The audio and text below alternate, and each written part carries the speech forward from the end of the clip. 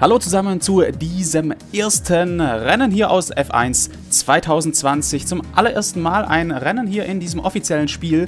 Und ich habe mir gedacht, wir probieren heute mal die Strecke in Österreich aus. Und was wir auch vor allem machen, ist die KI ein bisschen testen. Wie gut sind die KI-Gegner geworden? Wie reagieren sie? Machen sie vielleicht auch Fehler? Und genau das versuchen wir in diesem Video mal herauszufinden. Und zwar fahren wir mit dem Alpha Tauri. Ein sehr hübsches Auto auf jeden Fall. Und wir nehmen Gasly und hier natürlich wählen wir die Strecke in Österreich aus. Und wir fahren auf Legende. Ich mache das Ganze 50% Einführungsrunde, die lassen wir mal an. Ja, und ich zeige euch dann einfach die wichtigsten Ausschnitte dieses Rennens in diesem 50% Rennen. Und dann sind wir gespannt, ob das hier richtig cooles Racing wird. Und äh, los geht's.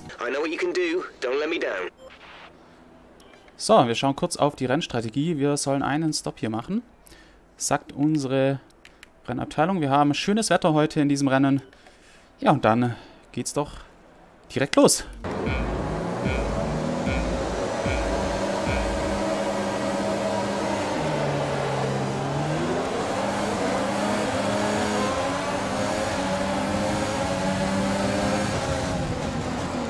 So, erste Kurve.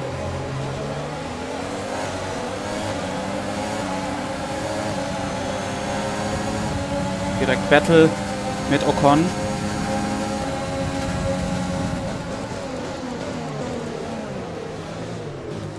Ah, kein Platz hier.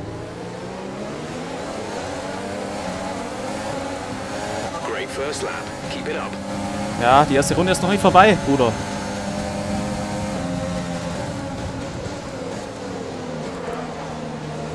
Start war schon mal ganz gut.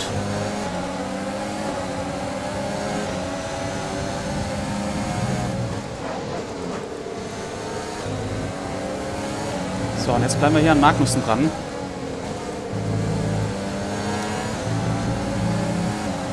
So, den nehmen wir ordentlich mit, den Körb hier.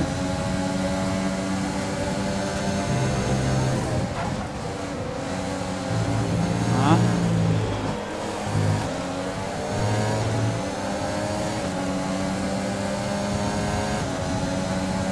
So. Das RS hat gerade so gereicht für die erste Runde.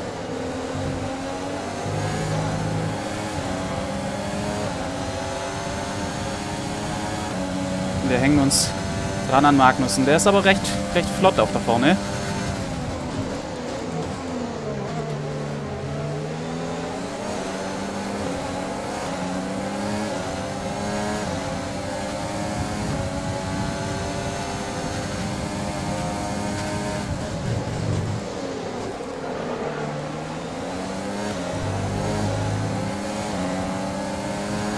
So, also die KI auf 95 ist auf jeden Fall nicht ohne.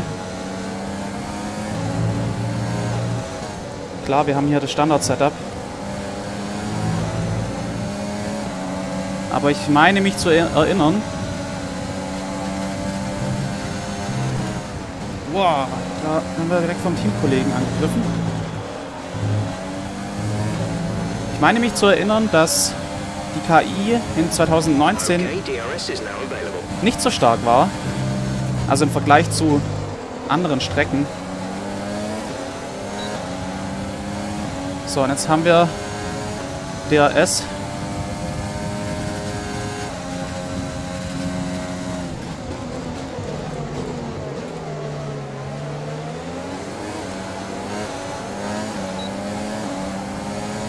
So, jetzt kommen wir vielleicht an Magnussen hier vorbei.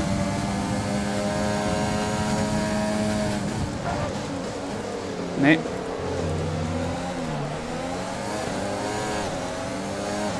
Ah, ein bisschen korrigieren müssen.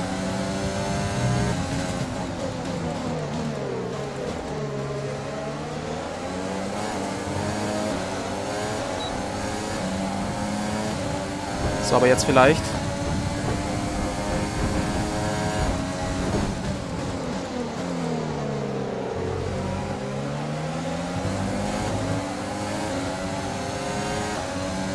Ja. Der Topspeed reicht nicht ganz.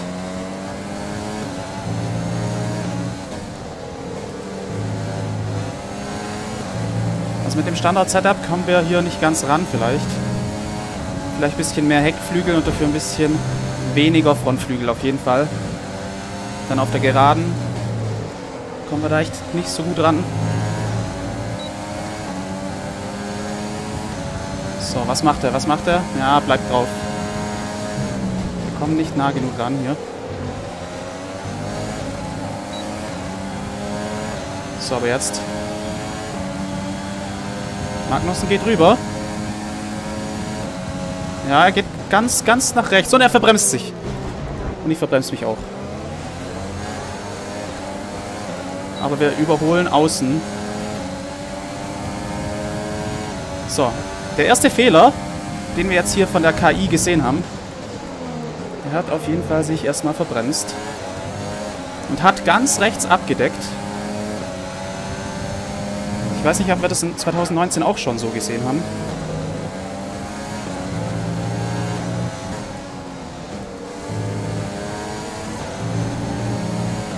So, der nächste ist jetzt Ocon. Ein bisschen ERS jetzt sparen die Runde noch. Ah, zu weit rausgekommen. Wir sind hier auf regulär unterwegs. Also alles gut.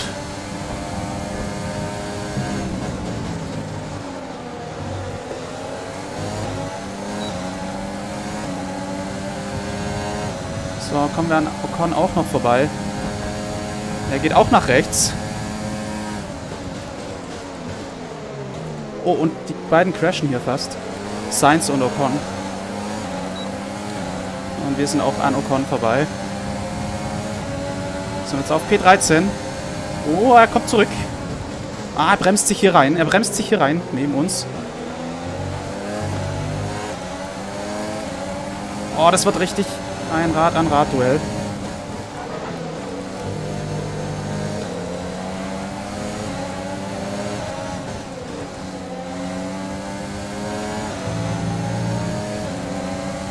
Boah.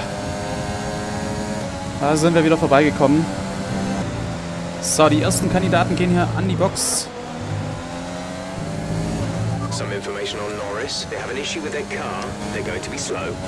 So, und wir sind jetzt hinter Perez.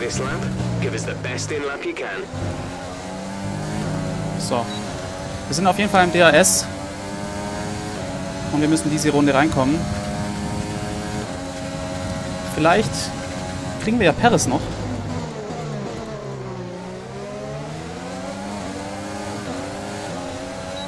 Boah.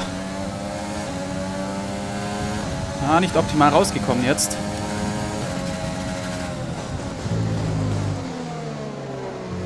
So, die Reifen sind tot. Die Reifen sind richtig tot. Und deswegen gehen wir jetzt auch gleich in die Box. Wir sind immer noch hinter Perez. Auf die Geraden hat es nicht geklappt. Hui. Knapp. Der erste Boxenstopp in F1 2020.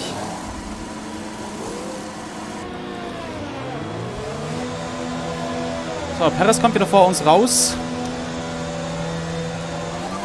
these tyres now. We want to finish the race on this compound.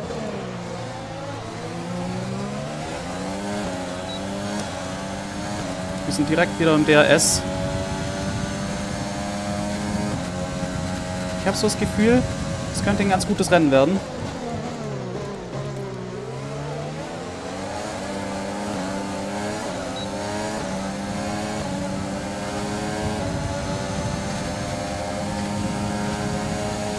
So, die bekriegen sich und Norris verbremst sich da ein bisschen. Hat ein bisschen stehendes Vorderrad, aber der kämpft gegen Grosjean.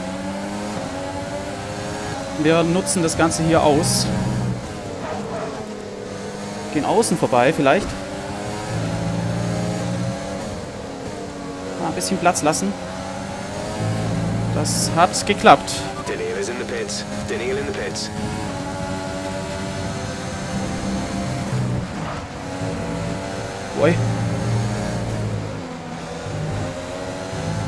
Das war ein bisschen ruppig drüber gefahren. We're trailing our teammate by 10.9 seconds. Boah. Da habe ich nicht aufgepasst, dass der da kommt. Hat auf jeden Fall rübergezogen und wollte da vorbeigehen, der Perez, der Gute. Aber wir fokussieren uns nach vorne. Der nächste ist Norris. Wir sind im DRS-Fenster. Kommen da ein bisschen näher ran. Also man hat gesehen, wie Perez attackiert hat auf jeden Fall in der ersten Kurve. Wo ich nicht damit gerechnet habe, dass er da vorbeigeht und reinzieht. Da war die KI bisher immer ein bisschen vorsichtiger unterwegs. Da hätte ich sogar abdecken müssen. Rechts. So, und jetzt greifen wir einen McLaren an.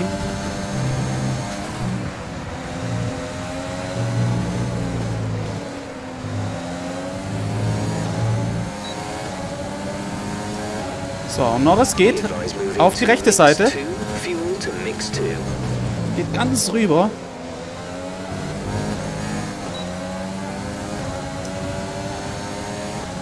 So, und jetzt sind wir hinter Grosjean. Da gibt es auch noch ein Battle jetzt.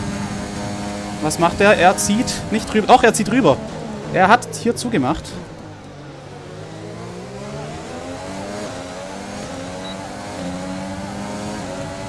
Grosjean bleibt ganz rechts. Mit seinen harten Reifen.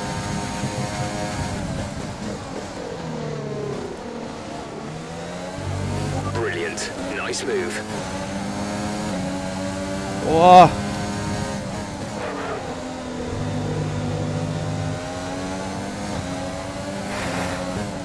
Also da kann man ordentlich kämpfen hier.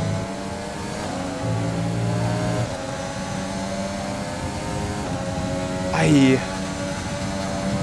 Also das macht auf jeden Fall Laune. Das macht richtig Laune.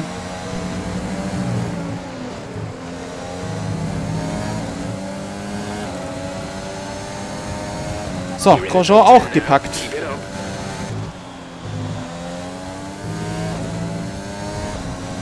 Yellow flag. Be aware, there's an incident in the next part of the track. No overtaking through the yellow flags. Okay. Da wird ein McLaren langsam und Sainz hat einen Motorschaden. Sainz hat Okay, einen Motorschaden. Ah, hier geht's richtig zur Sache. In diesem ersten Rennen.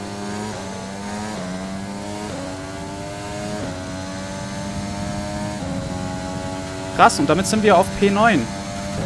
Greift er jetzt an. Wir kommen da immer recht gut raus aus der letzten Kurve. Hat Perez eigentlich gar keine Chance, hier ranzukommen.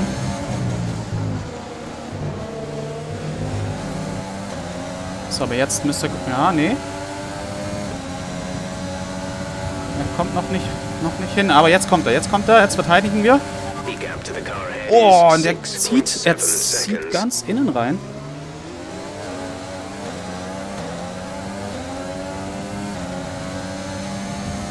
Er hat da tatsächlich versucht, ganz innen reinzugehen. Hätte ich jetzt auch nicht unbedingt erwartet. Aber er hat nochmal zurückgezogen.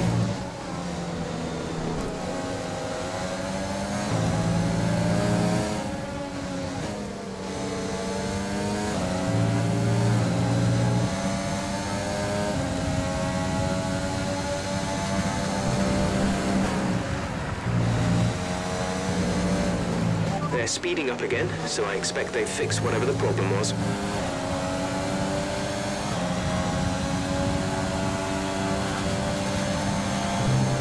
So, und jetzt machen wir mal folgendes. Wir lassen jetzt kurz die zwei Kollegen hier wieder vorbei, damit wir noch ein paar gute Fights haben.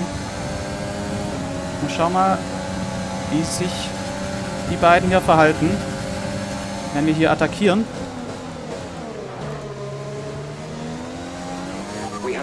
Laps of fuel remaining. So, wir sind jetzt hinter Perez. Perez geht ganz rüber. Oh, er lässt hier gar keinen Platz. Also da war rechts null Platz, um vorbeizugehen. Jetzt schauen wir mal, was er auf der Start-Zielgeraden macht.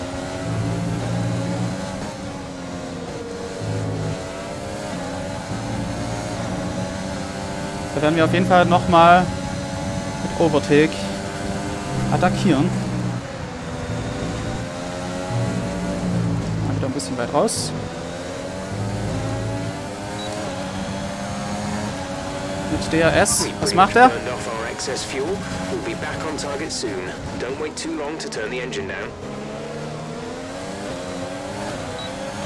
Na, er ist nicht ganz rübergezogen. Ich hätte jetzt erwartet, dass er ganz rüberzieht.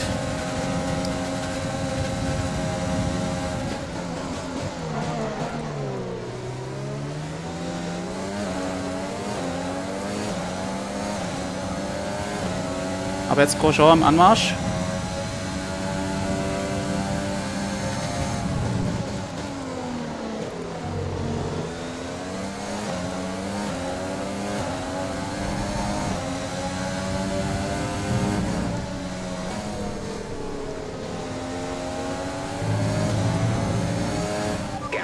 In front is 8.5 seconds.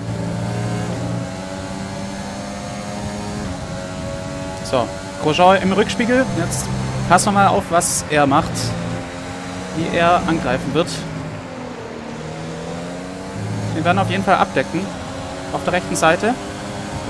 Ohne Overtake. Okay, the car behind is catching you by 5 tenths a lap. 5 tenths.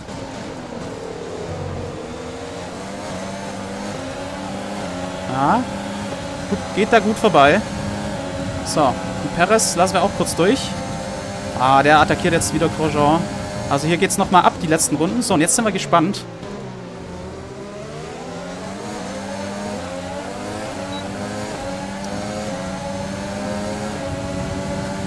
So, jetzt zu dritt.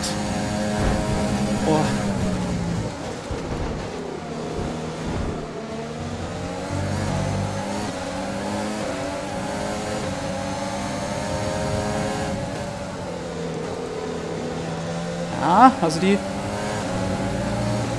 fahren schon echt gut, muss ich sagen. Für KI 95. Ganz ordentlich. Ich habe mich bisher sonst nicht so schwer getan.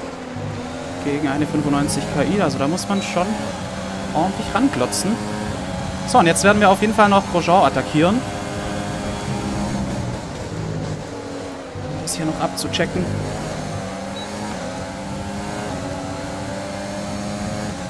Wie er sich verteidigt.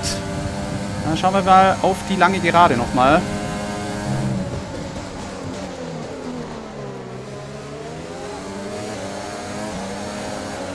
Ah, bisschen Wheelspin.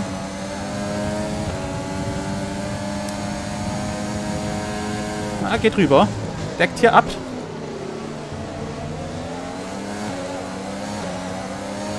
Also ich habe bisher einen Fehler gesehen in diesem Rennen, den die KI gemacht hat. Einen harten Verbremser. Ah, Grosjean hat bisher auch keine Fehler gemacht.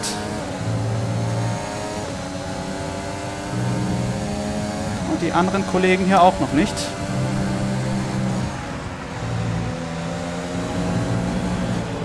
So, jetzt wird's interessant.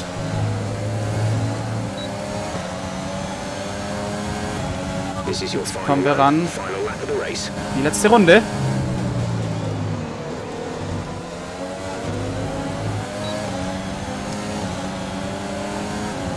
Ja, geht ganz rüber. Okay, gap ahead is 9.2 seconds. Bottas gewinnt. Und da sind wir wieder vorbei an Grosjean. Kommt er hier nochmal? Also man muss sagen, dass die KI einiges cleverer geworden ist.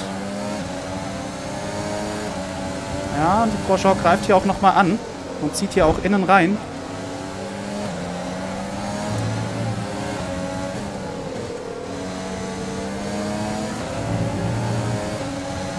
Können wir nochmal in Overtake gehen. Fotofinish. Alright, race over. Take care of the car on the way